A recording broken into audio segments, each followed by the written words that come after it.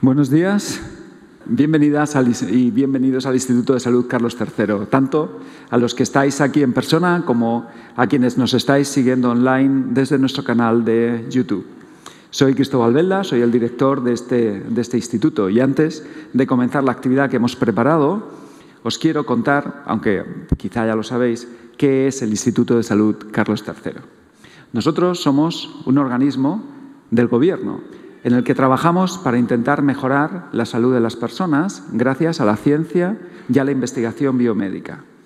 Tenemos laboratorios y tenemos espacios en los que lo que hacemos es llevar a cabo experimentos y estudios. También financiamos la ciencia, es decir, somos el banco de los investigadores para que fuera de nuestra organización haya otros centros y otros hospitales en los que se puedan hacer proyectos de investigación. Además de hacer investigación y además de financiar la investigación en salud, también nos dedicamos a formar, a formar a aquellas personas que dentro del ámbito de la salud precisan estar pues actualizándose todos los días con los nuevos conocimientos o con los nuevos resultados de las investigaciones que hay que terminar aplicando o a nuevos experimentos que se puedan hacer o a las eh, personas. Para que os hagáis una idea, simplemente, acordaos de los tres años que llevamos viviendo la pandemia. Y en estos tres años que llevamos viviendo la pandemia, el Instituto eh, de Salud Carlos III ha sido el centro de investigación que junto con, muchas otras personas y con muchos otros centros, por ejemplo, fuimos los que diagnosticamos a los primeros pacientes, fuimos el centro que cuando nadie tenía un test diagnóstico, investigadoras nuestras lo pusieron en marcha eh, eh, a través de los experimentos que hacían, que hacían todos los días. Nosotros fuimos los que fuimos capaces de empezar a mezclar las vacunas porque, bueno, todo el mundo se ponía el mismo tipo de vacuna y, a lo mejor os acordáis de aquello, pero desde un tiempo hacia adelante pues empezaron a mezclar vacunas. Nosotros fuimos los primeros en el mundo que conseguimos demostrar que se podían combinar las vacunas y además no solamente se podían combinar, sino que funcionaban mejor. Para eso tuvimos que hacer una serie de experimentos que, nos... Eh, y además en tiempo, en tiempo, en tiempo muy, muy rápido. Eh, la actividad que, hoy hemos eh, preparado para conmemorar el Día Mundial de la Mujer y la Niña en la Ciencia, que, además se celebra este próximo sábado, realmente lo que buscamos es intentar generar el interés por la ciencia y generar vocaciones científicas. Para ello, lo que hemos hecho ha sido eh, reunir aquí a eh, nueve de las científicas más prestigiosas que tenemos en estos momentos en la investigación biomédica de este país y que además trabajan en nueve institutos de investigación sanitaria. En concreto, además de trabajar, son las que lo dirigen, es decir, son las que mandan. Y tienen a su cargo a miles de científicos, a miles de médicos, enfermeros, investigadoras que se dedican a hacer ciencia para proteger la salud de las personas. Ellas son las que mandan y ellas son las que dirigen esos centros. Pensad que hace cinco años, en el 2018, solamente había eh, una o dos, algo así. Ahora ya son diez. Hoy hemos conseguido reunir a nueve. La décima persona y, no ha podido venir por, un problema, por un problema personal que, además desde aquí lo que eh, deseamos es que ese problema se resuelva muy, muy, muy rápidamente. Queremos que estas eh, nueve científicas que están con nosotros compartan con, todos y cada uno de vosotros sus experiencias y sobre todo eh, el hecho de que realmente la dedicación a la ciencia permite ayudar a la vida de las personas. Junto con esto, y me vais a permitir que eh, haga una reflexión acerca de un cambio que hemos incorporado hace muy poco tiempo, hace unos pocos meses, dentro de una ley que para nosotros es fundamental, que es la ley de la ciencia. La ley de la ciencia eh, tiene muchos cambios, muchas cosas que hemos incorporado en septiembre de este año, pero lo que busca, entre otras cosas, es que el recorrido científico de una persona sea predecible. Es decir, si alguna o alguno de vosotros decide en un momento ser científica o científico, la ley que hemos eh, modificado hace unos meses lo que le va a permitir es tener un recorrido predecible. Es decir, tú terminas tu grado y a partir de ahí tienes acceso a un tipo de contrato, que es el contrato predoctoral para defender tu tesis doctoral. Cuatro años. A partir de ahí tienes un siguiente contrato, que es el contrato de, eh, que se llama postdoctoral, que dura un máximo de seis años. Durante esos seis años después de leer la tesis, tienes tiempo para poder obtener un certificado de excelencia que se llama R3. Y con ese certificado de excelencia, el 25% de las plazas del Instituto de Salud Carlos III, del CSIC, del CIEMAT y el 15% de las plazas de las universidades españolas quedarán reservadas para esas personas. Es decir, la ley lo que ha permitido es que el acceso a un puesto de trabajo estable y digno para las personas que quieran hacer ciencia en España dependa de qué? De su talento. Fijaos, fijaos qué cosa tan, sumamente sencilla y a la vez tan sumamente difícil. Talento, el talento este que atesoráis, que atesoráis todas y todos y en los cuales realmente lo que necesitábamos era un desarrollo normativo de una ley que lo que permitiera es, perfecto, voy a la universidad, termino mi grado, quiero ser científico o científica y a partir de ahí tengo cuatro años para leer la tesis, por lo cual tendré un contrato por el cual me pagarán un salario. A partir de ahí defiendo mi tesis doctoral, tengo seis años donde tengo otro contrato por el cual me pagarán un salario digno y a partir de ahí accedo a los organismos públicos de investigación del Estado o las universidades a través de unas plazas que es que están reservadas para esas personas. Para esas personas que evidentemente tienen que haber sido capaces de desplegar ese talento que seguro que tenéis. Eh, que tenéis. Por eso lo que creo que es tremendamente importante es que además de promover la vocación, para poder ser científico, que seamos capaces de acompañar esa vocación de un recorrido predecible que dependa exclusivamente de vuestro talento. Hoy estáis en un sitio donde trabajamos 3.000 personas.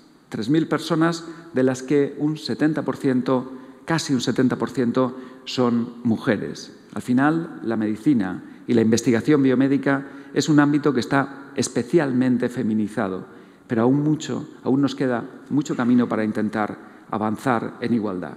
No me queda nada más que daros de nuevo la bienvenida y daros un mensaje que seguro vais a escuchar hoy con mucha frecuencia. Interesaos por la ciencia, acercaos a ella y conocedla porque nos permite conocer y comprender mejor la vida y además nos ayuda a hacerla mucho mejor.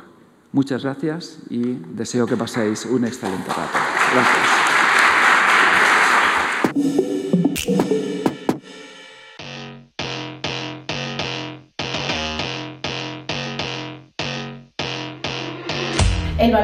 Ciencia hoy en día es indiscutible, es algo que nos ha enseñado y que ha revalorizado la pandemia COVID-19. La profesión de científico o científica es hoy en día altamente reconocida por la sociedad como un valor propio y también los científicos científicas han sabido abrirse a la sociedad, saben comunicar sus experimentos, saben comunicar sus descubrimientos y es algo que la sociedad agradece. Mi primer recuerdo en relación con la ciencia es siendo muy pequeña y lo atribuyo a mi interés por descubrir el mundo, mi curiosidad, hacerme preguntas e intentar responderlas. Como aprendí a leer muy chiquitina, pues enseguida iba a buscar respuestas en los libros. Esto es lo que yo creo que define a un científico o una científica, la curiosidad y el tratar de buscar respuestas. Yo decidí dedicarme a la ciencia cuando se hace la típica elección entre ciencias y letras en el instituto pero sobre todo recuerdo haber tenido claro que quería dedicarme a la neurociencia una vez iniciados mis estudios de medicina y haber estudiado la asignatura de neurología. La ventaja principal de ser científica es poder contribuir al progreso de la sociedad. El conocimiento avanza constantemente gracias a científicas y científicos que con motivación, compromiso y honestidad se esfuerzan por dar respuesta a enigmas de todo tipo. Es un trabajo arduo, pero los logros que consideramos de trascendencia en nuestras vidas vienen como resultado del esfuerzo que ponemos en conseguirlos. Yo soy una apasionada de la investigación. ¿Y por qué me apasiona mi profesión y mi ciencia todos los días? Porque creo que tras duras jornadas de trabajo, al final de esas jornadas puede haber aportado un poquito a solucionar la vida de los pacientes. Que tengan vidas más largas, que tengan vidas con mejor calidad de vida y que en definitiva sean muchísimo más felices. Por eso, ser investigadora me vuelve loca.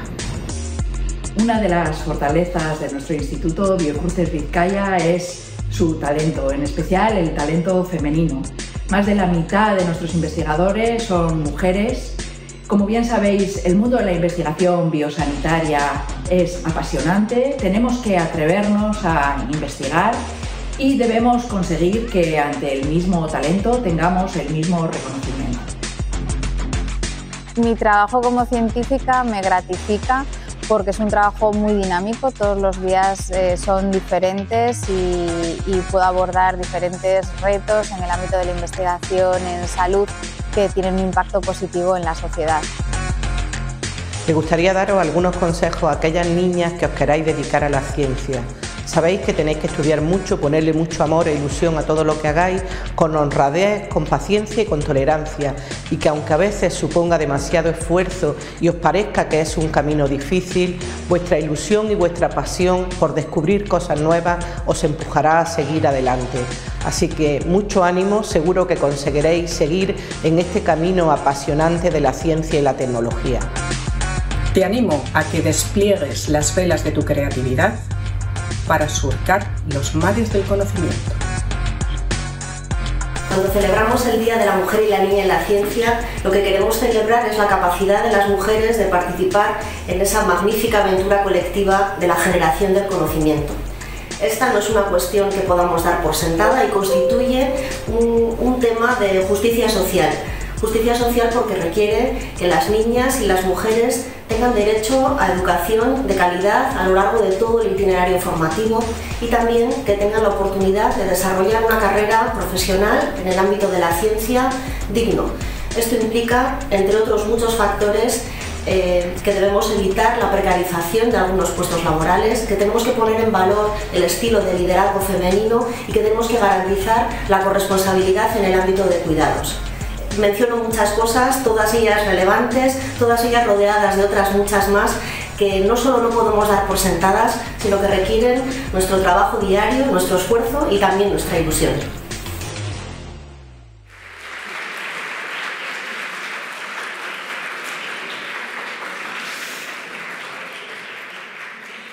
Muy bien, pues ahora empieza lo realmente importante que es que vosotros, que seguro que estáis llenos de curiosidad, eh, tenéis aquí a, a, nueve personas que, como ha dicho el director del Carlos III, son no solo unas científicas brillantes, sino unas personas que asumen esa capacidad de dirigir grandes equipos de investigación dentro de cada uno de sus institutos.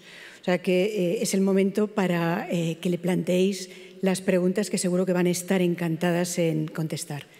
Sin más, empezamos cuando queráis. La primera pregunta, hay personas con los micrófonos, levantáis la mano y formuláis la pregunta.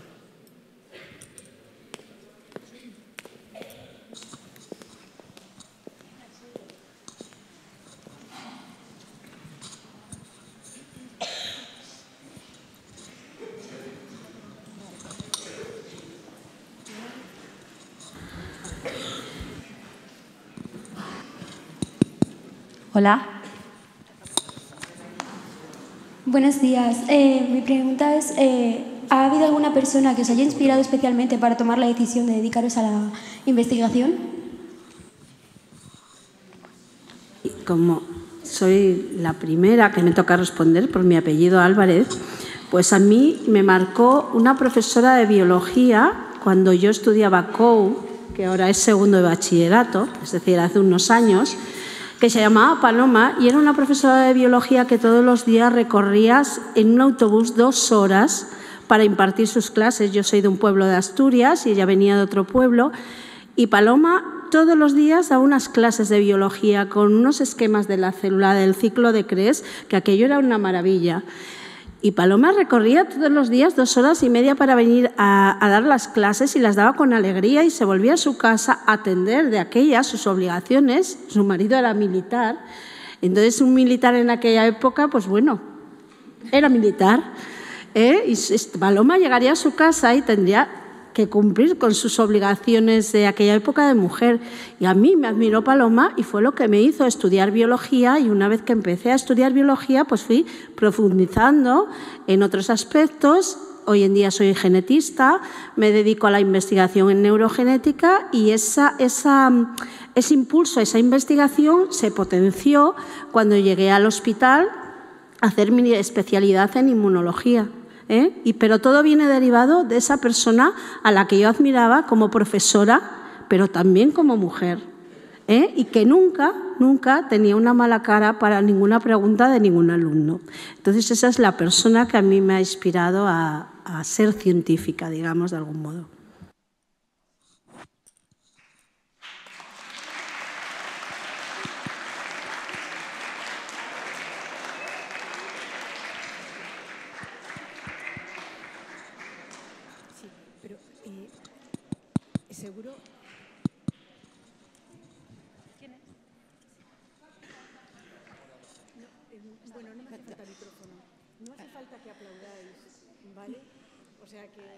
Vamos eh, haciendo una pregunta tras otra y, ¿sabéis? Porque si no, eh, igual se pierde tiempo. Yo creo que los aplausos ya los, los habéis sentido, ¿verdad? ¿Has sentido que te trataban diferente en el trabajo por ser mujer? Sí, lo hemos sentido todas nosotras, sobre todo las que somos más mayores, porque vivimos una época en la que eh, esto de la igualdad era algo desconocido. Lo hemos sentido. Pero eh, teniendo claro a dónde uno quiere llegar y cultivando la ilusión y el trabajo, ese pequeño obstáculo, que a veces ha sido grande, lo hemos vencido, porque queríamos llegar y hemos tenido tenacidad e ilusión. Y os aseguro que la recompensa es enorme. Somos muy felices con lo que hacemos a pesar del esfuerzo y además sabemos que estamos ayudando a otros y eso es eh, un retorno y un sentimiento muy bonito. Así que aunque haya dificultades, adelante.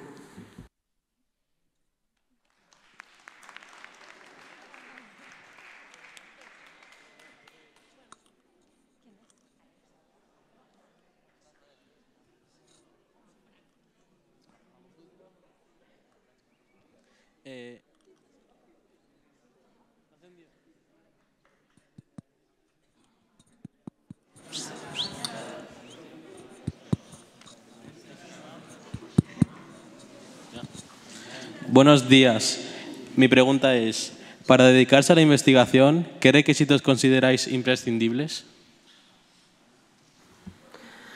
Pues mira, para dedicarse a la investigación lo primero que hay que, tener en la cabeza es querer dedicarse a la investigación. Eh, afortunadamente ahora vivimos en, bueno, pues en, un mundo que nos da muchísimas posibilidades y una de las cosas muy buenas que ha pasado o que yo he visto que han pasado a lo largo de los años y que es diferente de cuando yo me formé es que se ha diversificado muchísimo eh, las posibilidades de opciones que tenéis para, para hacer investigación.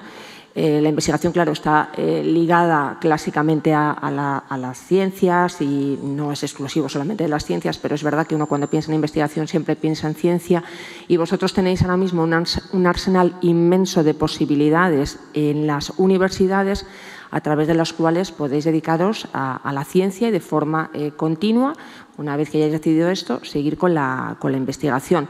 El requisito es querer. Eh, ese es lo más importante. Cuando uno quiere, se, plantea las metas y, lucha para, conseguirlas. Y, con eso, al final, uno acaba siendo eh, feliz porque, porque ve que poco a poco, esto no es un camino fácil, pues se acaban logrando lo que uno se ha, planteado.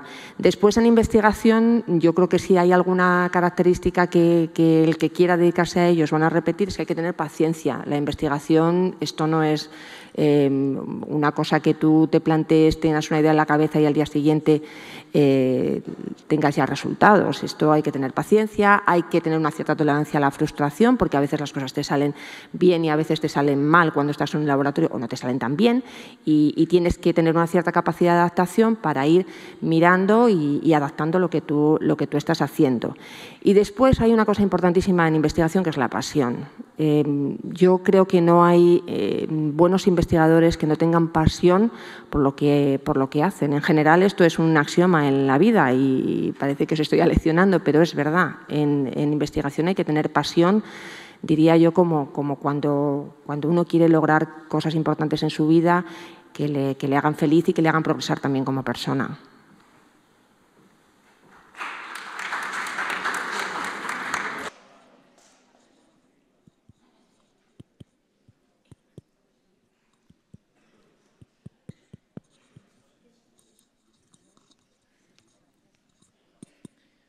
Buenos días.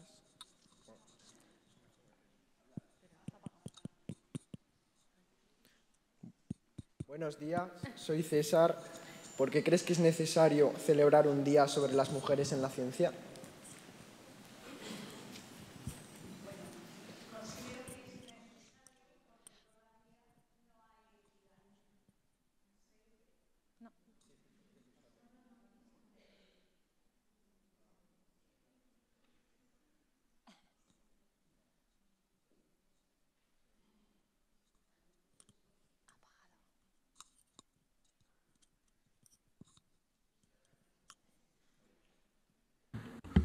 Ahora, perfecto. Buenos días, ahora sí se me oye, ¿verdad? Considero que es necesario porque desafortunadamente todavía no hay equidad. No hay equidad entre hombres y mujeres. La perspectiva de género que decimos cada vez va mejorando, pero mm, sobre todo en estamentos que tienen un poquito más de nivel es más difícil llegar. Entonces es importante el que se refleje el papel de la mujer en determinados ámbitos y entre ellos pues en la ciencia. Yo creo que cada vez lo vamos a conseguir más, porque además de hecho para investigadoras que se inician predoctorales, cada vez vemos que hay más mujeres, pero luego también es verdad que lo abandonan más. Afortunadamente, con la ley de la ciencia, pienso que esto va a cambiar porque como decía antes el director del Carlos III, ahora ya hay un recorrido que tiene un finito, es decir, tú sigues ese camino y no es como antes, se dedica a investigador, el pobre no gana un duro, no puede tener nada, no puede comprar un piso, no puede nada porque nunca va a tener un trabajo estable. Eso afortunadamente ha cambiado y entonces cada vez habrá más competencia, lo cual es bueno, porque subirá nuestro nivel de investigación y también al saber que hay esos estamentos, eso va a ser también más igual para hombres y para mujeres. Pero de momento no es así. Por eso se sigue celebrando el Día de la Niña y la Mujer en la Ciencia. Yo de verdad os digo que es un trabajo muy apasionante, que os va a gustar si os dedicáis a esto muchísimo. Es también duro, pero esa dureza produce aún una mayor satisfacción cuando se consigue lo que uno quiere. Desde aquí os animo que es un trabajo que además ahora pues tiene también un sueldo digno que es importante también en la vida después en el futuro y que va a tener también un trabajo estable sin problema de preocuparnos por dónde estaremos dentro de tres o cuatro años una vez que hayamos alcanzado esa meta. Y el trabajo, además, contribuye a que podamos eh, estar en ese progreso de la sociedad. Os animo a que os metáis a ser científicos y científicas porque es de verdad muy apasionante.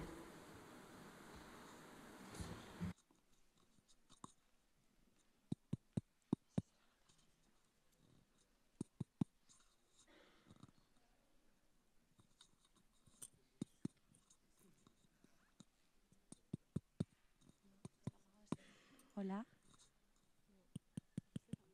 Hola. Buenos días. Eh, os quería preguntar qué recompensa personal habéis obtenido a lo largo de vuestra trayectoria. Pues muchas gracias por la pregunta y mm, la recompensa es altísima. De hecho, yo personalmente no sería capaz de reconocerme con mi nombre y con mi apellido, Laura García Bermejo, si no me dedicara a la investigación y si no pudiera todos los días disfrutar de forma apasionada de mi, de mi profesión. Una de las recompensas, creo, más relevantes que tenemos las, las científicas y los científicos, a pesar de, de, muchas circunstancias en, el, en, la carrera investigadora, que como bien comentaba Mariluz, pues, pues gracias a Dios están, se están solventando, es poder dedicarnos a algo por lo que todas las mañanas tenemos ganas de levantarnos e ir al puesto de trabajo. Esto creo que es esencial en todos los desarrollos profesionales.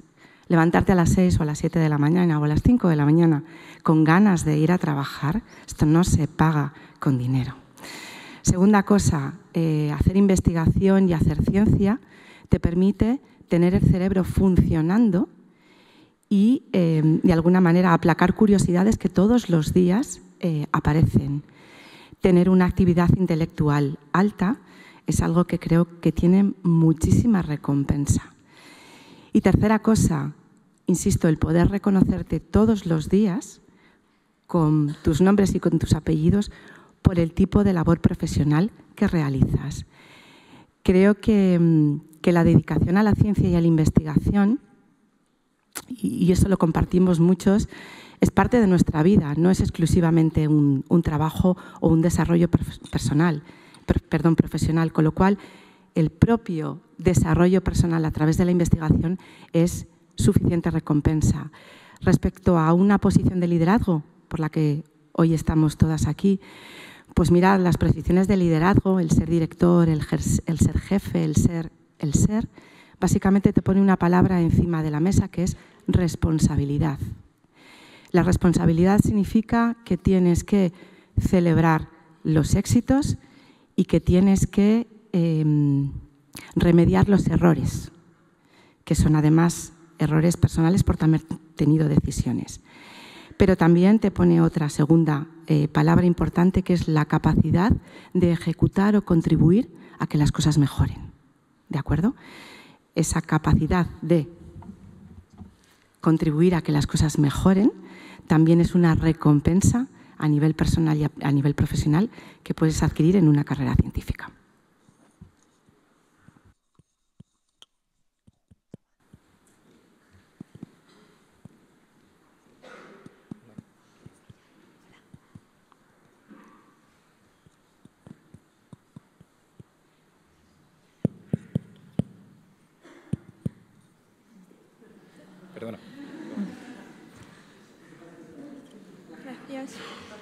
Eh, hola, soy Maya y quería preguntar si se premian por igual los descubrimientos de las mujeres que los de los hombres. Estamos mejorando en ese sentido, pero siempre ha habido muchos más premios Nobel dentro del sector masculino que dentro del sector femenino. Yo creo que es un trabajo que tenemos que hacer y visibilizar y para ello estamos. en nuestros equipos están trabajando en enfermedades tan importantes como el Alzheimer, enfermedades oncológicas, enfermedades neurológicas, genéticas. Entonces, tenemos que intentar que dentro de estos equipos haya paridad, que las mujeres tengan teniendo el mismo talento, tengan el mismo reconocimiento y tenemos que visibilizar esto. En cuanto al tema de los premios, como te he comentado, todos los premios siempre han, estado mucho mejor posicionados los varones. Y, pero tenemos que, hacer, eh, tenemos que tener una actitud muy proactiva en intentar cambiar las cosas. Y yo creo que estamos en el foro adecuado para que desde los colegios, de los institutos, premiemos igual al talento femenino que masculino.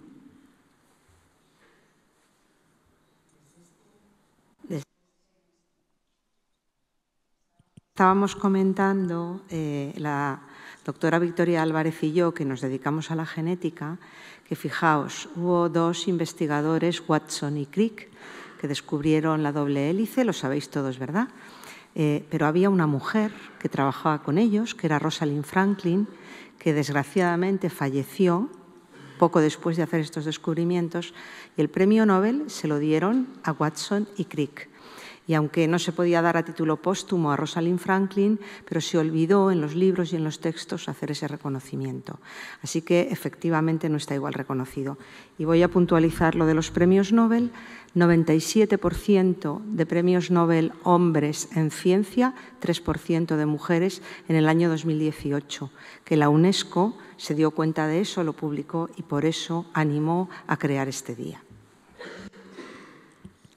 Perdonad que puntualice. Hay que decir que el jurado también está constituido en su mayor parte por hombres. O sea, tenemos que cambiar un poquito todo. Y eso no cabe duda que también contribuye.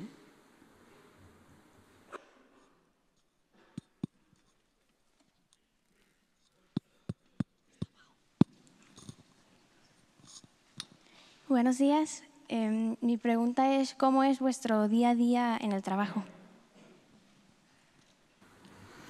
Buenos días a todas y a todos. Eh, pues la verdad es que nuestro trabajo es, es muy dinámico y eso yo creo que es una de las cosas que, para mí son, son, muy positivas, porque cada día las agendas eh, son diferentes. Es eh, muy diferente, pues, evidentemente, el trabajo pues, de una persona que se está iniciando en la investigación al trabajo que podemos desarrollar ahora pues, cualquiera de, nosotras. Pero lo que sí que tengo que decir que si os, involucráis en el, en el ámbito de la, de la ciencia es para participar cada día, yo creo, de, un, de un carrusel eh, de emociones eh, con altos y, bajos, porque como decía alguna compañera, bueno, pues tienes que tener ilusión, tienes que tener muchas ganas de, bueno, eh, te levantas por las mañanas, esa sensación sí que yo creo que la compartimos todas, independientemente de en qué posición estemos, con, ganas de, cambiar las cosas y de hacer cosas y, todos los días son diferentes, pero también a veces, bueno, pues hay que, hay que gestionar, bueno, pues eh, resultados negativos, eh, mm, proyectos que no te financian. Eh, o, bueno, pues a veces lamentablemente tener que, decir adiós a algún investigador o investigadora, pero, pero yo creo que lo que caracteriza a nuestro trabajo es que es extremadamente dinámico.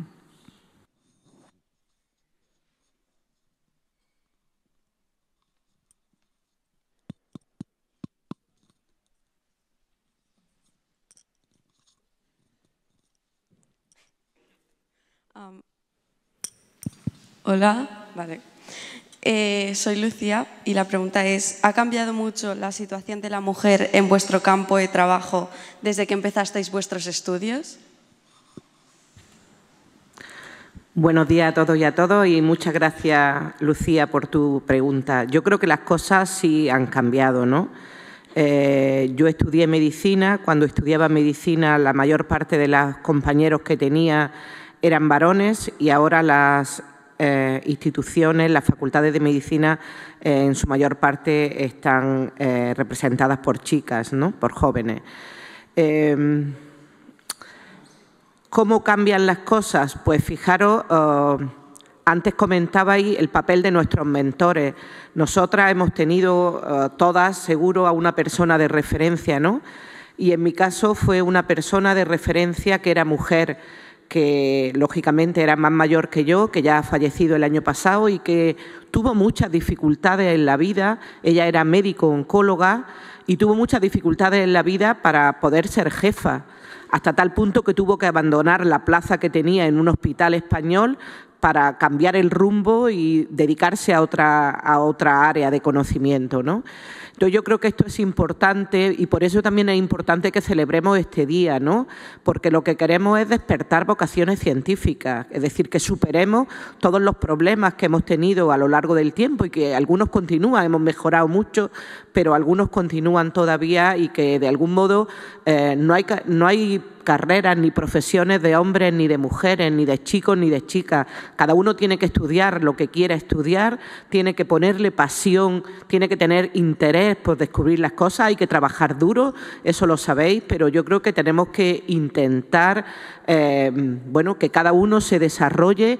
Eh, como quiera y que no se ponga límites ni barreras, porque no hay límites ni barreras, las barreras las ponemos nosotros, entonces tenemos que ser capaces de eh, llegar donde queramos. Seguramente las nueve que estamos aquí sentadas hemos llegado más lejos de lo que nunca hubiéramos pensado, al menos yo me siento así, ¿no?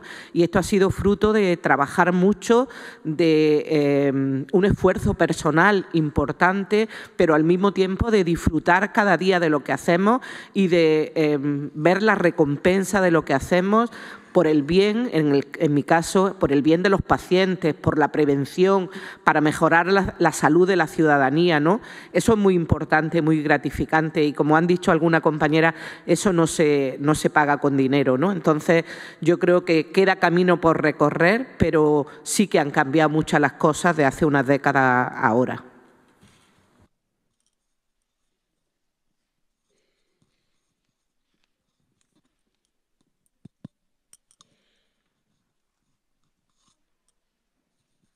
Buenos días.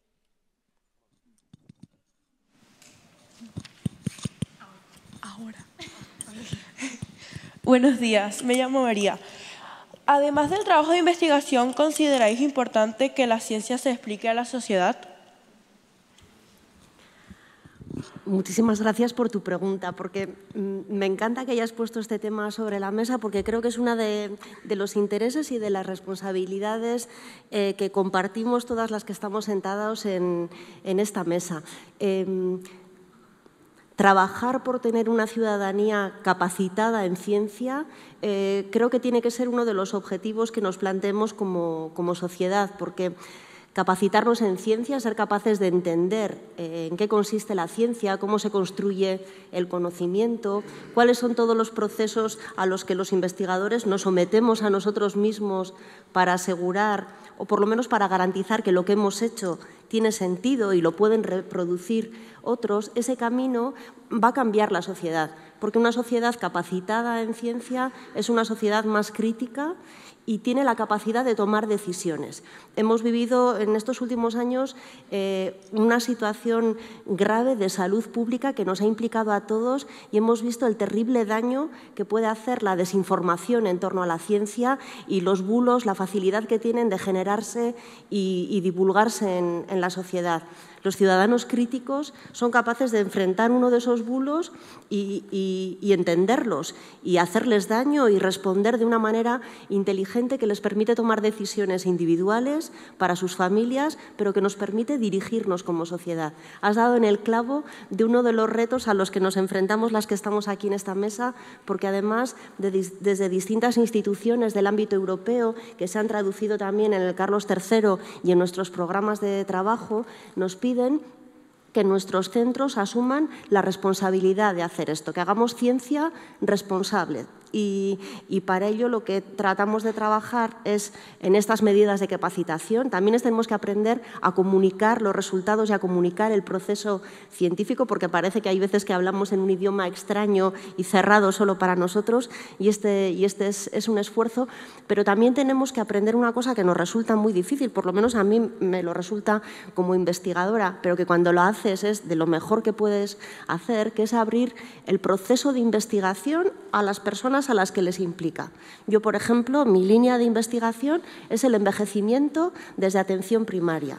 Y habitualmente cuando pensamos en un proyecto, pues se nos ocurren a nosotros ideas, preguntas de investigación a las que queremos responder y planteamos pues, la metodología, qué información tenemos que recoger, qué cálculos estadísticos haremos para ver si lo que planteábamos es verdad o no.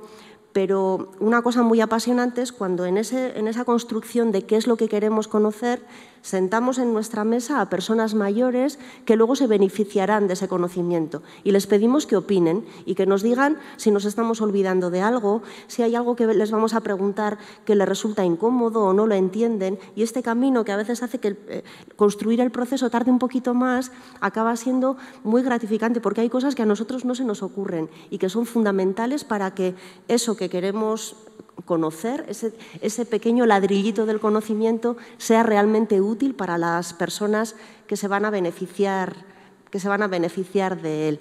Eh, pero en cualquier caso, esta aventura de la, de la, capacitación ciudadana depende también de vosotros, bueno, como todo lo que estamos hablando aquí, porque sois el futuro y todos los temas de los que hemos hablado los tenéis en la mano vosotras.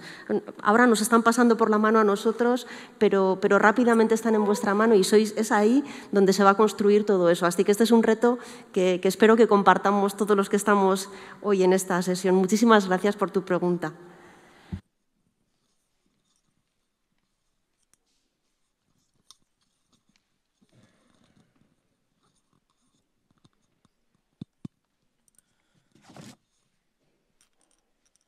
¿Siempre pensaste en dedicar tu vida a la ciencia a pesar de las dificultades que se supone? Bueno, yo, mm, yo quería, quería investigar, me gustaba la biología, me gustaba la inmunología, me gustaba la genética. Yo en principio obtuve una plaza asistencial en mi hospital pero siempre quería ir más allá, siempre tuve esa vocación, esa ilusión de ir más allá y así emprendí mi carrera investigadora en el ámbito sanitario.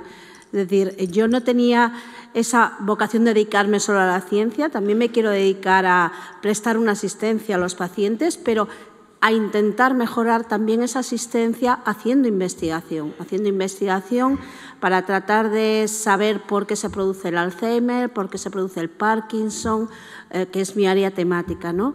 Entonces, es, en mi caso es compaginar prestar asistencia al paciente que tiene una enfermedad, diciéndole que tiene, pero también contribuir a avanzar para que esa enfermedad se pueda erradicar o se pueda prevenir. Entonces, no sé si he contestado a tu pregunta. También tengo... Ah, ¿tienes más? La que, la que tenía. Eh, ¿Alguna vez pensaste en renunciar? Eh, yo en mi caso no. Era una cosa que iba a comentar de lo que han dicho las compañeras. Aparte de pasión, hay que poner perseverancia, porque no todo siempre sale bien.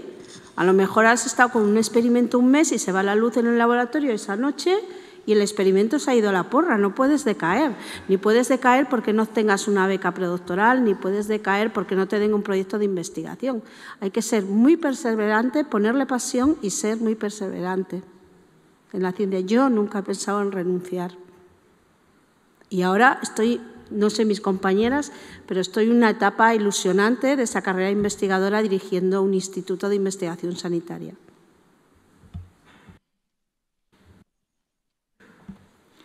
Eh, por completar un poquito, yo en mi caso, por ejemplo, fue la asistencia lo que me llevó. Me dediqué, o sea, hice pediatría, saqué la plaza de facultativo, especialista de área, con el objetivo que tenía en mente era puramente asistencial. Pero luego los problemas diarios de la práctica clínica es en donde dices hay que ir un poquito más allá si de verdad quieres que esto mejore, que esto se pueda desarrollar y eso fue lo que despertó un poco ese espíritu investigador, esa inquietud, esa curiosidad y fue como, bueno, cada vez apasionando más. Pero de verdad que yo al principio solamente en mi caso pensaba en la asistencia y fue ahí donde vi que dije, aquí hay que dar un paso más y pienso que hoy en día, por ejemplo, en ese ámbito, no se concibe una asistencia excelente si no va ligada a la investigación. El ranking de los mejores hospitales españoles son aquellos que potencian la investigación y la innovación, es decir, que hacen que sus profesionales, aparte de atender a los pacientes que van al hospital por la patología que sea, vayan más allá en la respuesta a esas preguntas Consultarlo y veréis que son los hospitales que potencian precisamente la investigación.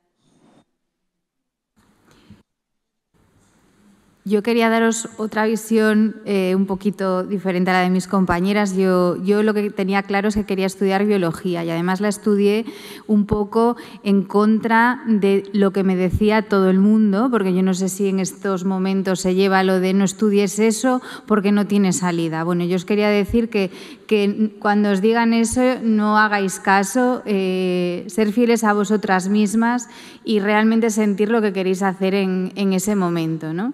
Eh, y luego, pues eso, eh, probé que era trabajar en un laboratorio cuando acabé la, carrera y realmente pues me di cuenta que era lo que me gustaba hacer. Y yo sí que tuve un, un momento de crisis durante mi carrera investigadora eh, creo que no os hacemos ningún favor poniendo las cosas demasiado bonitas. Eh, y fue eh, muy curioso, os cuento la anécdota, porque a veces esos premios sí, que, sí que ayudan, o al menos en momentos de crisis. hubo un día que, bueno, hay días malos y le dije a una compañera, creo que voy a dejar la investigación. Y me dijo, anda, anda, no digas tonterías, y, entonces, eh, en ese momento me llaman por teléfono y entonces me, llamaban y de la Fundación L'Oreal UNESCO y me decían, ¿eres Eva Poveda? Y dije yo sí. Y dice, bueno, te llamamos para decirte que eres una de las premiadas eh, con, con el premio de la Fundación L'Oreal UNESCO for Women in Science. Y en ese momento eh, fue como ¿no? Eh, muy curioso eh, pensar en ello. Y dije, bueno, pues esto a lo mejor es una señal y, no lo puedo dejar ahora, porque me están diciendo de alguna forma que, continúe, que, que algo debo de estar haciendo bien. Y, entonces hay momentos, eh, hay momentos de, frustración, hay momentos eh, complejos, pero yo creo que al final, si es tu camino, de una forma o de otra, mm, acabas, acabas eh, llegando. Yo veo aquí mucho futuro científico porque hay mucha curiosidad. Más preguntas, más preguntas.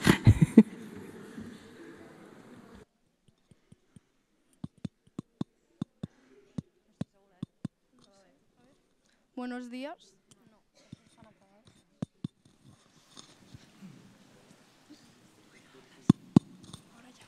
Buenos días.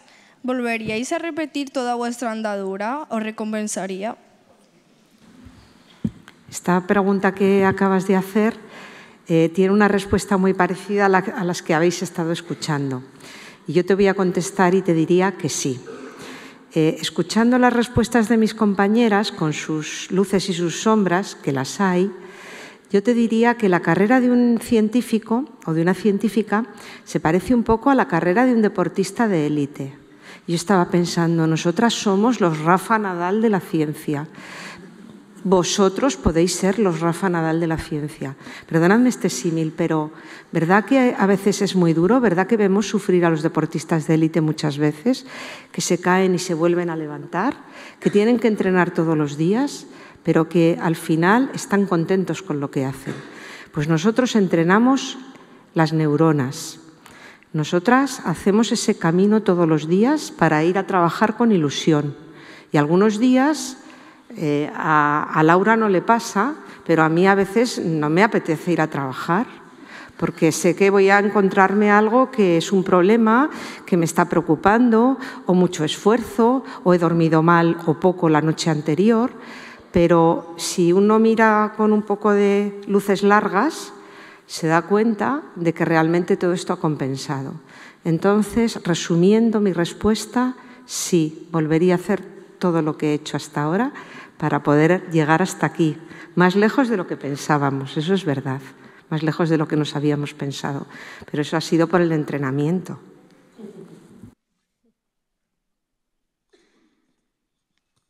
Sí considero que la investigación es una carrera de fondo, es, no es un sprint, que aprendemos mucho de los fracasos. Muchas veces nosotros en las enfermedades neurológicas, eh, los ensayos que hacemos con distintos medicamentos que estamos investigando salen negativos y seguimos. Un día estamos frustrados, pero al día siguiente nos recomponemos y buscamos otras líneas. No, no hay nada más gratificante que cambiar la vida de las personas. Cuando una persona con una enfermedad crónica, neurodegenerativa, te viene en silla de ruedas porque ha tenido un brote y con los tratamientos que están en experimentación o en ensayos clínicos eh, puedes cambiar y, mejoras la calidad de vida y empiezan a andar, eh, eso es lo más gratificante que puede ocurrir. y es complejo y es largo, pero tenemos que seguir por esta línea. Y yo creo que en equipo lo hacemos mucho mejor. En, investigación mm, no se puede ir solo, tienes que trabajar en equipo y cada vez los equipos son más multidisciplinares. Eh, nosotros trabajamos eh, biólogos, médicos, bioingenieros, bioestadísticos, matemáticos, físicos, todos en conjunto. Esto, esto es algo curioso, veréis, veréis y, es vuestro futuro además. O sea que la ciencia no es solo medicina, sino que hay muchos perfiles en investigación que trabajaréis juntos. Yo quiero añadir, añadir un comentario a, lo que decía Mar sobre la importancia del, del, equipo y hay un elemento que hace que los equipos funcionen muy bien y que creo que es fundamental en, nuestras carreras, pero en el éxito de la ciencia, que es la generosidad. Eh, hay veces que se dibuja la imagen de un científico cerrado en su laboratorio, escondiendo sus resultados y sus fórmulas secretas, y eso es precisamente lo contrario de lo que hacemos y de lo que más éxitos genera.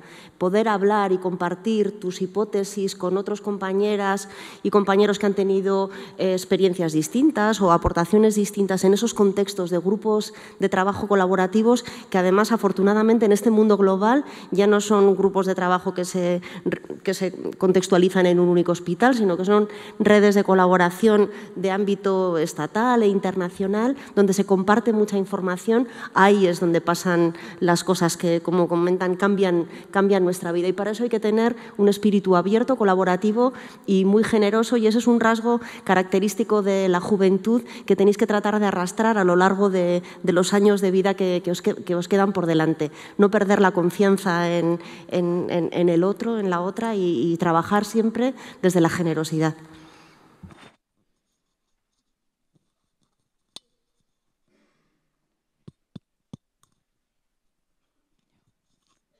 Hola, eh, soy Sara. ¿Y en qué lugar del mundo hay más oportunidades laborales para la investigación? ¿Hay algún tema en concreto que os ayudara a decidir dedicaros a la ciencia?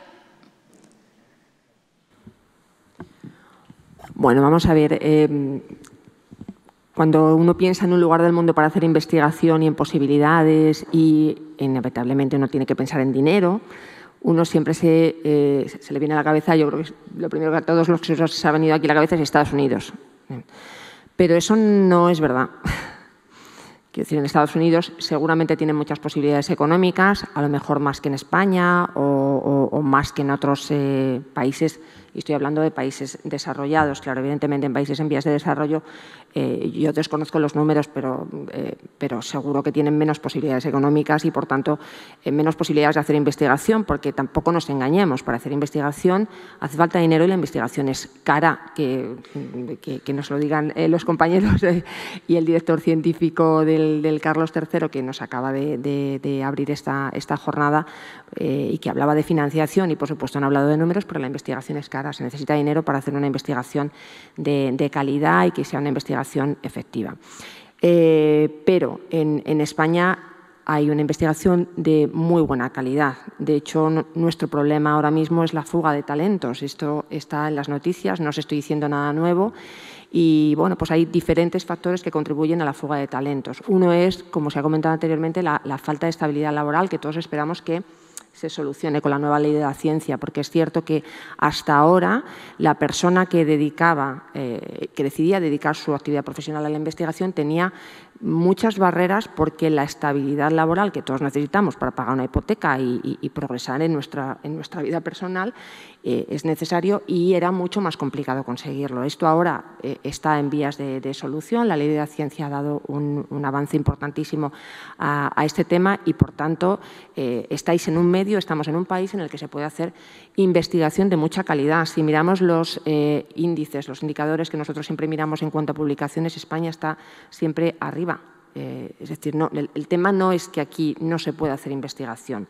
Otra cosa es bueno, pues que en algunos otros países a lo mejor hay más medios económicos y, eh, eso facilita un poquito las cosas porque, como digo, la investigación es, cara. En este punto también os quiero decir una cosa. Es muy bueno, muy bueno eh, que cuando uno se dedica a la investigación se mueva. Es decir, eh, en España se vive muy bien, tenemos posibilidades para hacer investigación, pero yo recomiendo aquí a todo el mundo que quiera hacer investigación que también se mueva, se vaya a ver lo que hay fuera. Eh, yo he estado en Estados Unidos y, cuando estás allí te das cuenta que es verdad que puedes hacer muchas cosas, pero bueno, eh, que es que tampoco hay tanta diferencia. ¿Eh? Si tú te rodeas de un buen equipo, como comentaban anteriormente, y eso es importantísimo, si estás en un medio como son los institutos de investigación sanitaria, donde hay mucha gente, donde se pueden compartir ideas, realmente al final no hay tanta diferencia y tú ves que en otros países, supuestamente, con a lo mejor más medios para hacer investigación, lo cierto es que la, forma de trabajar es bastante similar a lo que hacemos aquí en nuestros institutos de investigación y en otros organismos pues, que se dedican a la investigación. Es decir, que es cierto que algunos países siempre llevan un poquito la bandera de más gasto y más dinero dedicado a la investigación, pero desde luego en España se, hace investigación de, mucha calidad y es labor nuestra eh, intentaros convencer también de que si uno se dedica a la investigación, aunque se mueva, después vuelva. Y tenemos que intentar facilitar, los que estamos aquí dirigiendo los institutos, también nuestras instituciones sanitarias, que las personas que en un momento determinado habéis ido fuera porque es muy bueno ver otras maneras de trabajar, pues después volváis y podáis tener mm, una posibilidad eh, inmensa de desarrollar vuestra carrera profesional aquí. Me gustaría añadir algo sobre las carreras profesionales. Os habréis dado cuenta hoy de que tenemos un sistema de investigación biomédica muy rico, mm, muy ordenado, que se han construido muchos elementos y esta institución es responsable de que eso haya ocurrido. Los institutos de investigación sanitaria, la ley de la ciencia. Por eso quería decir que además del entusiasmo, la alegría y el trabajo que todos os estamos transmitiendo, es importante que os forméis sobre cómo llevar a cabo vuestros ideales. No basta con querer o con esforzarse, hay que saber qué recursos tenemos en nuestro país para formarnos adecuadamente y podernos orientar en esa carrera investigadora. Así que os animo a que los que tengáis, las que tengáis vocación en ese sentido, busquéis elementos para informaros y saber cómo llevar a cabo vuestra vocación. Los institutos de investigación sanitaria son un medio, pero hay más. Yo solo quería añadir que, yo creo que hay un antes y un después de, la, después de la pandemia. ¿no? Ha marcado un poco lo que es la visión que tiene la sociedad global, yo creo, y en España también, de la investigación y de lo que es invertir en investigación. Ahora seguiríamos en pandemia si no tuviéramos a esa investigadora básica que dio lugar a la vacuna RNA que permitió ir atajando esta pandemia, que bueno, ya se da por concluida. Entonces yo creo que hay un antes y un después. Y otra, eh, los institutos de investigación sanitaria que trabajan sobre todo en salud, tenemos también una responsabilidad, los, que los dirigimos, de convencer a nuestros gestores que invertir en investigación en salud les va a hacer más ricos, porque cuanto más sana tengan a su población, más, menos dinero van a gastar en, curarla.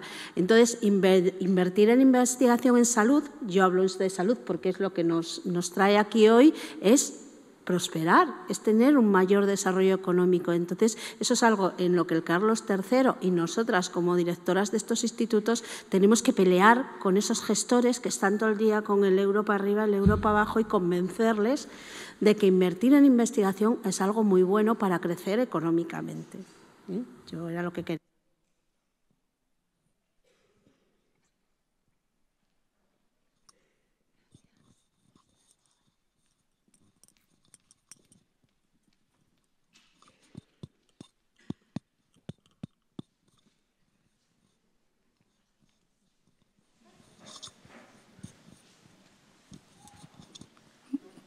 Buenos días. Eh, ¿Por qué creéis que hay pocas mujeres en puestos de gestión?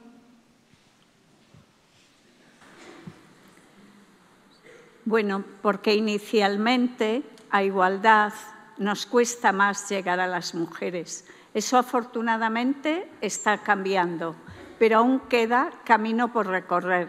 Entonces, lo vemos, por ejemplo, en investigación con las científicas, que se empieza por esas becas predoctorales para hacer la tesis doctoral.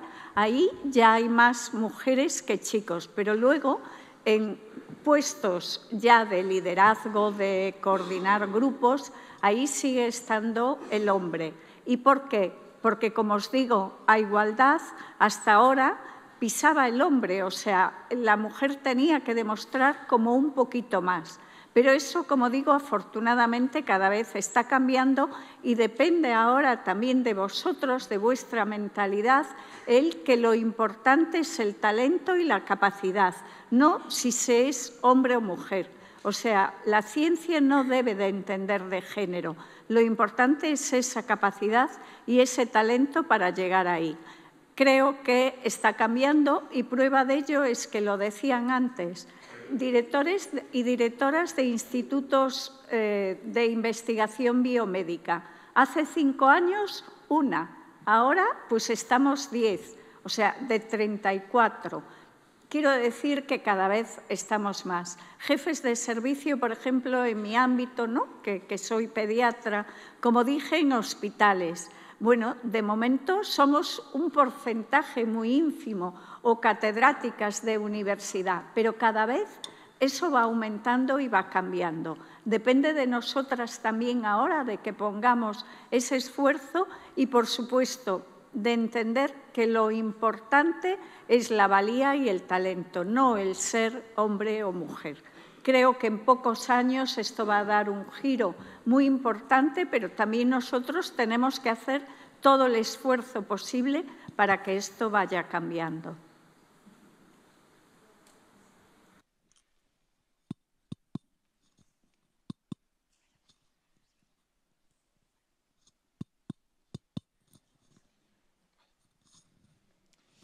Hola, soy Miguel.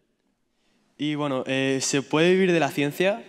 ¿Cuesta mucho tener una estabilidad? ¿Creéis que vuestro sueldo se corresponde con las horas de trabajo que invertís?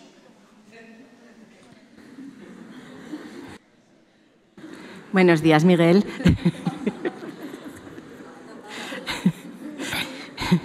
No sé si pedirte un plus por contestar a esa pregunta. Pues mira, sí, sí se puede vivir de la ciencia. Míranos a todas, qué caras de saludables tenemos aquí, aquí hoy. y además de, ser científicas y de dirigir institutos, eh, bueno, pues tenemos un entorno familiar como cualquiera de vosotros que estáis, que estáis aquí. Y, de mejor o peor manera podemos eh, sacar ese entorno familiar adelante. Em, es verdad que, en términos económicos, porque ya ha quedado claro que en términos de, reconocimiento y satisfacción personal la ciencia compensa y con creces, en términos económicos no es una de las profesiones o no ha sido eh, tradicionalmente una de las profesiones con más eh, reconocimiento económico.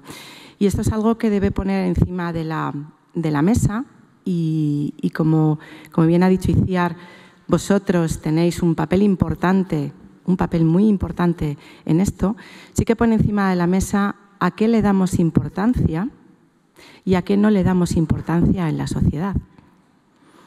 Tradicionalmente, esto ha ido acompañado de un mayor o menor eh, reconocimiento económico. Desde ese punto de vista, pues evidentemente la ciencia y la investigación no es lo más reconocido en, el panorama nacional y, también en el panorama, en el panorama internacional. Con lo cual, os pedimos ayuda. Os pedimos ayuda no solamente para que os involucréis con esta pasión que os estamos transmitiendo y que además es real de hacer investigación, porque una sociedad que hace investigación es una sociedad mejor formada y más avanzada, ya lo han señalado algunas compañeras, sino os pedimos también ayuda para que después de lo que habéis escuchado hoy aquí, saliendo a la calle, pongáis en valor, pongáis en valor la profesión de investigación y la profesión de la ciencia. Y ese poner en valor puede llevar incluido un reconocimiento económico y una estabilidad que, como bien nos ha comentado nuestro director, el Instituto de Salud Carlos III está haciendo verdaderos esfuerzos por ello. Pero esto también debe ser un, reclamo social, ¿de acuerdo? Igual que cuando se nos cae WhatsApp 20 minutos, el mundo fibrila, ¿eh? y todo se para, deberíamos hacer también la reflexión, y vosotros como jóvenes ayudadnos a ello, ¿qué pasaría, qué pasaría si no tuviéramos determinadas profesiones en esta sociedad.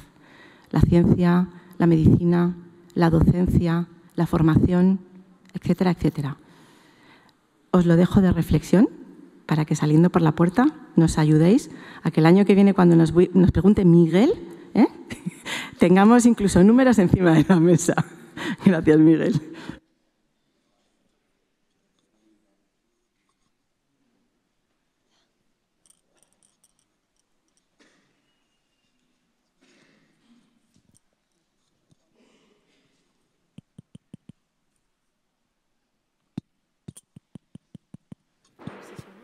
Hola. Hola. Eh, buenas tardes. Mi nombre es Mélida y quería preguntaros a qué proyectos a nivel internacional habéis formado parte.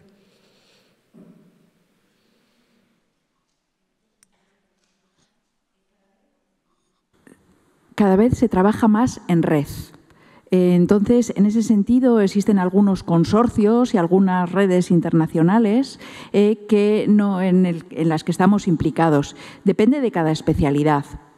Hay, yo que vengo del mundo de la neurociencia y la neurología, estoy en algunas redes estatales como las RICORS, en las que trabajamos colaborativamente, trabajando en enfermedades neurodegenerativas, sobre todo en enfermedades como el Alzheimer, el ictus. Luego, lo mismo en otras especialidades en el mundo de la oncología, eh, o sea que depende un poco. Y luego hay proyectos europeos muy interesantes que, eh, en función de los grupos de investigación más potentes que tengamos, pues hacemos esos, eh, esos eh, proyectos colaborativos o no. Por ejemplo, en cáncer de pulmón estamos trabajando muchísimo, en cáncer de colon, en enfermedades como Parkinson, inteligencia artificial. Eh, depende de cada especialidad.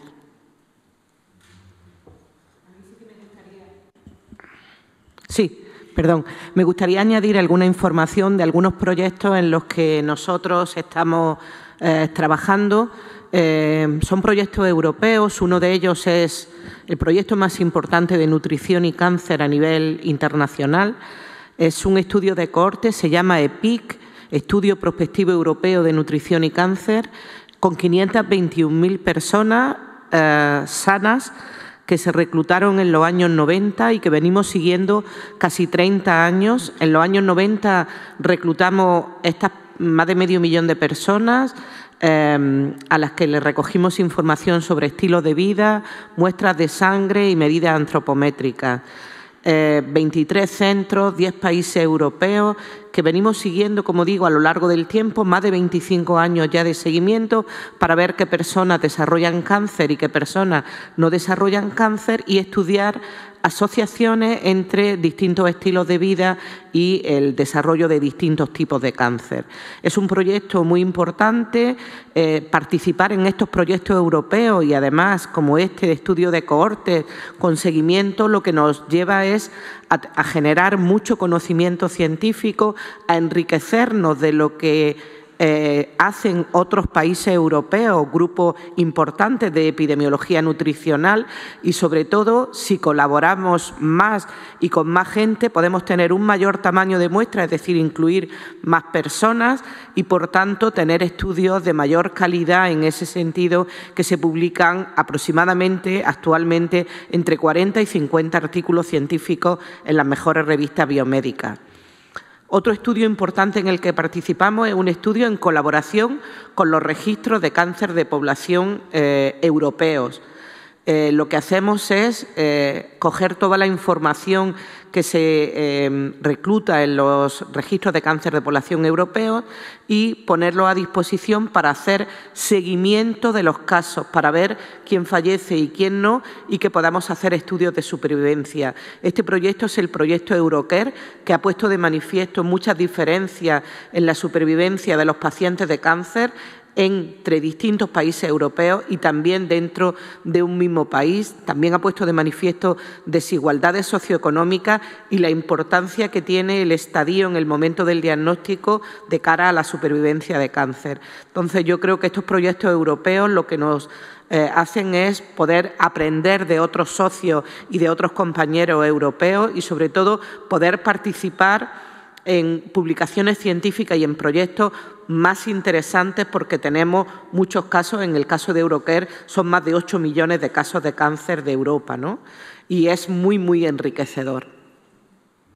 Sí, no solo internacionales, sino que esta misma casa, esta misma entidad en la que estamos hoy, el Carlos III, fomenta este tipo de proyectos. Hay unos proyectos estratégicos a nivel estatal en el que trabajamos los 33 institutos que estamos, que son em, proyectos de medicina de precisión, que se llaman IMPACT, eh, que trabajan en cohortes de pacientes seguidas a lo largo del tiempo, en los que se trabaja en datos, en genómica eh, y, que, y que pueden cambiar la vida de las personas a lo largo del tiempo.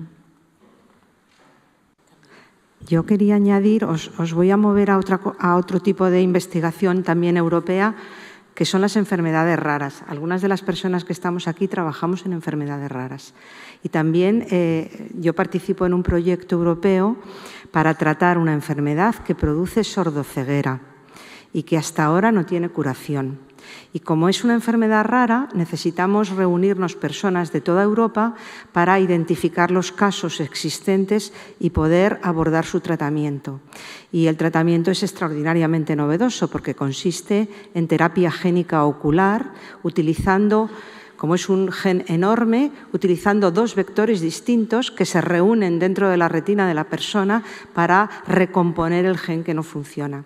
O sea que fijaros cómo la estrategia europea y la ciencia eh, fomentada de esta manera colaborativa que decimos, puede abordar desde grandes cohortes y problemas que afectan a muchas personas hasta problemas que parecen más minoritarios, pero que son problemas de salud pública importantísimos porque por ahora no tienen solución.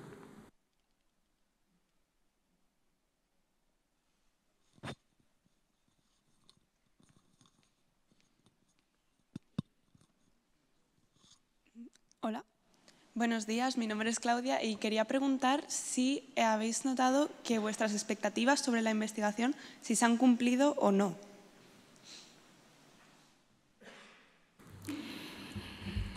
Pues yo creo que sobre investigación, eh, yo creo que sí. A mí no, me o sea, nunca me he arrepentido de, hacer lo que hago.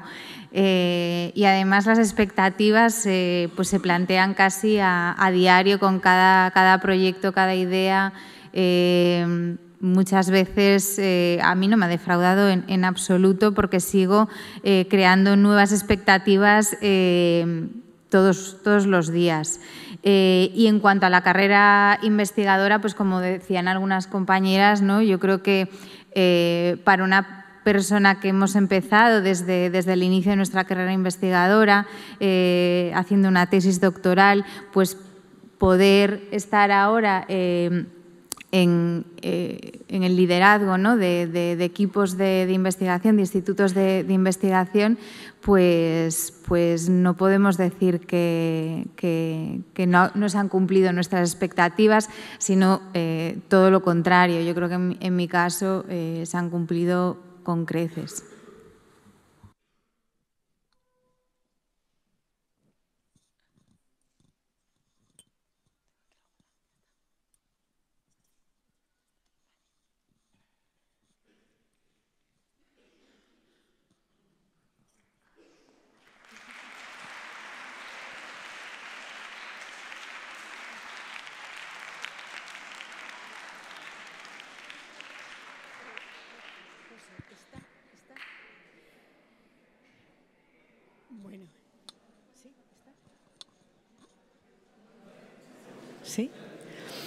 Perfecto.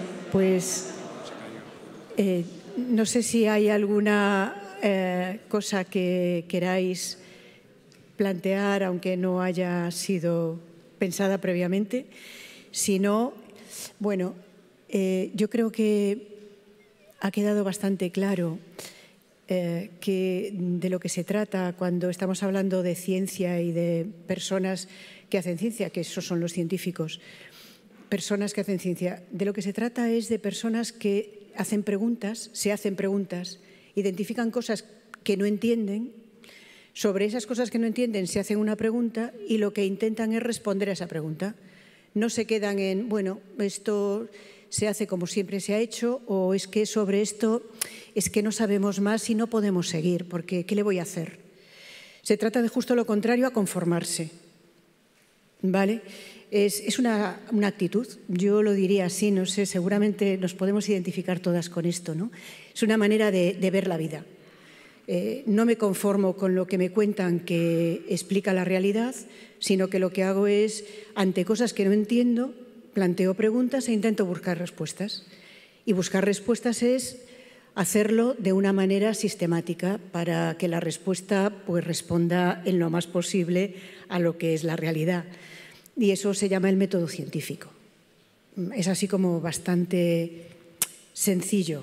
Luego, a la hora de la verdad, todo esto tiene muchas complicaciones y es una, eh, una carrera de fondo, tiene eh, momentos buenos y malos, hay días mm, en los que no ves eh, ese horizonte claro o como decía Eva, te cuestionas que, bueno, a lo mejor mm, debo dedicarme a otra cosa. Y eso lo ha tenido todo el mundo en su trayectoria. Pero yo creo que lo que sí, por lo menos eh, ha sido esa mi experiencia también, eh, es que eh, tienes la posibilidad de una manera intelectualmente bastante libre de plantearte respuestas a esas preguntas o intentar buscarlas. Colaborando con mucha otra gente que complementa lo que tú conoces y sabes hacer en equipos como los que han contado, donde está gente, biólogos, biotecnólogos, matemáticos, estadísticos, eh, personas que se dedican a cuidados, psicólogos. Cada vez, además, hay más eh, perfiles que entran aquí. Tenemos equipos de investigación en institutos en los que hay eh, personas que han hecho ingeniería. Fijaros, o FP en eh, temas totalmente heterogéneos y que a priori uno podría pensar, pues no tiene nada que ver con la salud ni con eh, la, biología. Pues sí, tiene que ver. Hay muchísimas soluciones que están surgiendo de personas que eh, trabajan en temas de materiales, en producir dispositivos. Tanto los equipos son cada vez más amplios y más complejos y ahí por eso también hay dependiendo, con independencia del perfil o de aquel aspecto de desarrollo en el que estéis pensando que os sentís más cómodos o cómodas, esto siempre puede tener un desarrollo hacia la ciencia. Siempre, en cualquier campo de conocimiento, te puedes plantear preguntas y puedes buscar respuestas a ellas. Esa es la idea. Mantener la curiosidad e intentar responder a esas preguntas no conformándote con las explicaciones que te dan o con lo más fácil. No, no. Y es que lo que ocurre es que una pregunta te lleva a otra. Y cuando llegas a, no sé cuál es, pero normalmente esto, es esto, ¿no? Entonces, como una bola de nieve, te haces una pregunta y esa pregunta te lleva a cuestionarte otras preguntas y para responder a ellas involucras a otras personas y cuando te das cuenta, pues estás en un proyecto europeo con 500.000 personas sanas a las que sigues para ver si eh, los cambios en el clima o en los hábitos que tienen de alimentación o si hacen más deporte o menos deporte influye en que tengan determinadas enfermedades o no. Y el responder a esas preguntas tiene que ver con que luego eh, salga alguien diciendo, oiga, es que es bueno que usted haga deporte y que no coma excesivas grasas. Pues esto tiene un fundamento en los trabajos que se hacen por personas que se plantean preguntas. Si las personas no se hubieran planteado preguntas, es que estaríamos probablemente en Atapuerca. ¿Vale? Y aprovecho para decir que la gente de Atapuerca está aquí al lado, en el edificio de al lado. Los tenemos trabajando, ¿vale? A todas las eh, personas que, llevan Atapuerca. Eh, justo la evolución, lo que nos ha hecho pasar de Atapuerca hasta aquí, y esperemos que vosotros nos hagáis llegar muchísimo más lejos, es eso, hacerse preguntas y cuestionarse lo que está pasando. No me conformo. Tú me puedes contar lo que quieras, pero es que a mí no me encaja. pues eso que es una característica que yo creo que es bastante más vuestra que, que ya de los que tenemos un poco más de edad, es lo que se comentaba, que no lo perdáis nunca. Ese no me convence, pues no me lo quedo. Y me planteo buscar respuestas. Bueno, pues eh, esto es un poco lo que nos engancha y lo que nos hace tirar los días que no lo vemos tan claro. Desde el Instituto de Salud Carlos III, nosotros lo que intentamos es, como decía el director al principio, el eh, apoyar a las personas que quieren llevar adelante la investigación. Lo hacemos en nuestros centros y lo hacemos financiando a los que hacen investigación en otros centros. Y dentro de esos centros que hacen fuera de aquí investigación de enorme calidad están los eh, que trabajan en los institutos de investigación acreditados, que ahora mismo son 34 y están en prácticamente todas las comunidades autónomas de España. Y ahí están personas que trabajan en hospitales, en centros de atención primaria, en la universidad, en laboratorios eh, básicos. Hay personas que tienen muchísimos perfiles, pero que trabajan todas juntas. Y eso también es muy importante. Pues eh, espero que, os hayamos eh, ayudado a conocer un poco más de este ah, trabajo y de la gente que lo hace. Y si os hemos animado a alguno o alguna a, oye, pues pudiera ser que yo apostara por esto a futuro, pues yo creo que ya con que una o dos personas salieran de aquí pensando esto, ya daríamos por bien empleada la, eh, organización de, esta jornada y el haberos tenido aquí y haber tenido la oportunidad de traer a todas estas mujeres valientes y, y, talentosas que, han asumido además la responsabilidad de dirigir los institutos. Pues eh, no sé si queréis añadir algo más vosotras. Pues si no es así, eh, mm, bueno, mi nombre es Pilar Galloso. Disculpad que me di cuenta que no me había presentado. Eh, soy subdirectora general en el, Instituto de Salud Carlos III y entre otras responsabilidades está todo el programa de institutos eh, y el ayudar desde aquí a que eh, lo que ellos quieren hacer les sea más fácil. Esa es la idea. Ellos son los que marcan a dónde quieren llegar. Nuestro trabajo es engrasar la rueda para que vaya más rápido. Y eso es lo que intentamos hacer cada día. Pues eh, damos por cerrada la jornada. las puertas abiertas las tenéis siempre aquí eh, esto es una institución pública de investigación y desde esa perspectiva las inquietudes o las necesidades que tengáis eh, intentaremos siempre responder y tener las puertas abiertas a vosotros. Y nos encantaría que algunos de vosotros, dentro de unos años, pudierais decir, oye, yo estuve aquel día en aquella jornada y ahora eh, tengo un contrato de formación, estoy haciendo mi tesis o me he incorporado a, un grupo de investigación. Eso sería eh, fantástico porque yo estoy segura de que si lo hacéis os vais a encontrar con una realidad de satisfacción personal. Aquí no estamos para ganar dinero. Eh, eh, si alguien lo que dice es yo quiero llegar rápido a ganar mucho dinero y vivir súper bien, este yo no le recomendaría el camino. Ahora, si lo que uno le interesa es, oye, yo quiero levantarme y hacer cosas que me ilusionen y en las que realmente crea que, pues, oye, tiene algún sentido, eh, este es un camino en el que uno no lo pasa, no pasa necesidad, pero que además se saca esa ventaja.